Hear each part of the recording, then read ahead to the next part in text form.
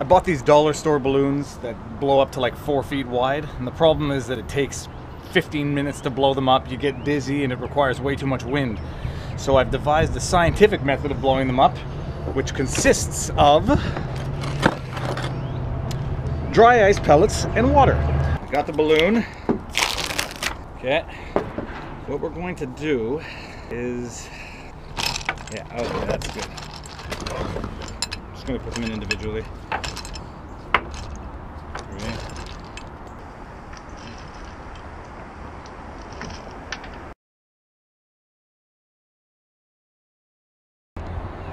Now what we gotta do is get the water inside.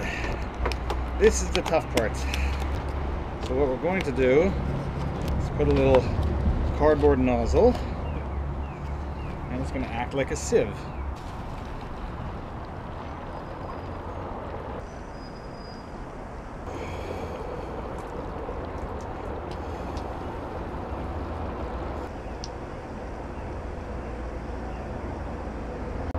And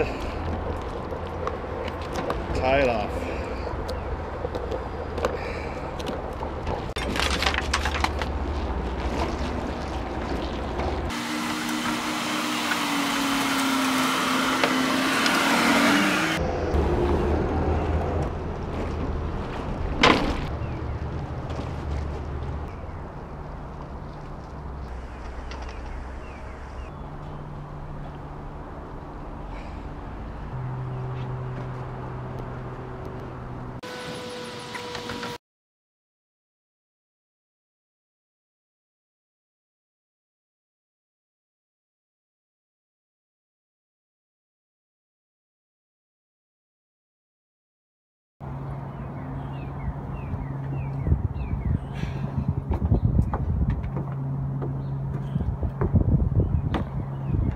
Well, it's not gonna pop on its own, so we're gonna help it.